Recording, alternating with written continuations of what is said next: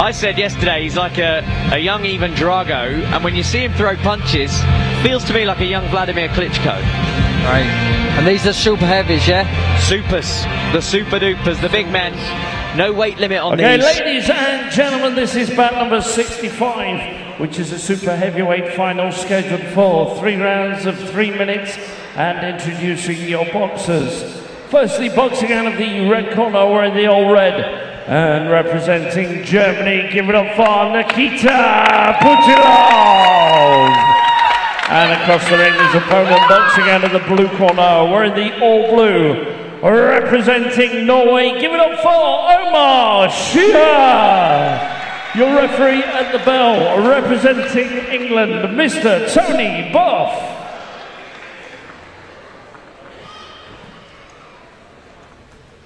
Yeah, the bigger they are, the harder they punch. These are the super heavyweights. To qualify, you've got to be 92 kilos plus. That's about 14 and a half stone, but there is no ceiling limit. And they are weighing 92 kilos. They're, they're above 100, trust me. Yeah, I think so. Round I think so. So Putilov of Germany is in the red on the left of your screen, and Omar Shiha of Norway is in the oh, blue. Good start from the German already. Well, I mentioned Klitschko. You're going to see what I mean. He holds his lead left hand out in much the Oh, same way, and he throws shot. punches of incredible force. Very sharp red corner. Yeah, what was it they used to call Vladimir Klitschko? Dr. Steelhammer? I think they'll need to come up with a nickname for this fella. So Putilov against Omar Shiha for the super heavyweight gold here at the GB Open. Putilov won the gold on home soil in the Cologne Open in the World Boxing Cup last November. Shiha actually boxed Delicious Orie of Great Britain in the last 16 of the European Games. Delicious went on to win the gold at that event. That's why he's qualified for the Olympics, but he's no longer here, having lost his opener. And it leaves these two to box off for the gold. It would have been an all-German final had Shiha not beaten Nelvitia oh, back, but he oh, shipped some leather and he's wobbled there. He's wobbled oh, quite badly and he's down. Such force from the German. Right on top of the temple.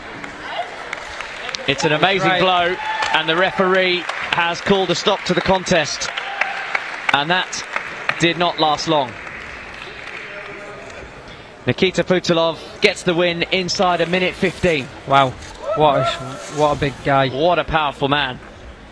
Do you see the comparison that I was drawing? Vladimir Klitschko? That was right on top of the temple. Right on top that. of us. I was Yeah. worried that the ring was going to give way. Powerful shots. And Nikita Putilov, no wonder he's smiling. He's the first boxer to double down with gold in Cologne, and he's doubled it up with gold here in the Steel City of Sheffield. All smiles from the German camp over in that red corner. That man there is going to take some stopping. Has this guy already qualified for the Paris? Not yet, I don't think. Won't be long. No. Well, that was impressive. Let's have a look. Have a Talk us through this. Luke. Come on. I think it was a it was a right hook. There you go. Completely wobbled him. Equilibrium gone. Hit him again. For the right hook. That first one shot. But the power of the right hook and then the accuracy to follow up with two more shots as he's on the way down, that is high skill. Yeah, just just to land that that shot. It's- You got to have great timing to land that shot as well as power. Yeah, the, you know the other thing I think, he looks so clean cut. Oh, I want to see it again. A again. marketeer's dream. It's the right hook we're looking out for. Bang. right on top of the temple. His legs is now Followed it up with a second one. scrambled. He's n- not recovering from that. He that. had nowhere to go. Absolutely no way to go. And a good round of applause from the crowd here in Sheffield for Omar Shiha, who's back on his feet. And Shear was the guy that beat a couple of good guys on the way to the final. 65. Your winner by a knockout.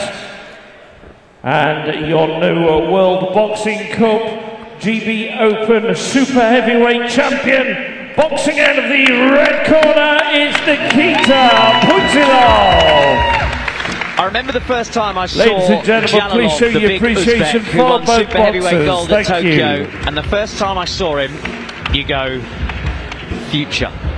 He won the Olympic gold. He's gone on to a pro career. He's, I think, 15 and 0, 15 KOs. Most of them don't last longer than a round.